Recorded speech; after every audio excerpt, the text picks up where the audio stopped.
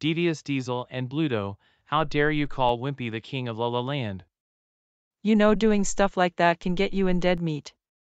You will receive spankings and slappings 24 hours a day. And you will not be allowed to push Edward, Henry, and Toby into the sea like you did in Thomas vs. SpongeBob, Revenge of the Sith Mustafar battle parody. And you're going to be in detention for the rest of your pitiful lives. We've been the worst enemies of all time ever.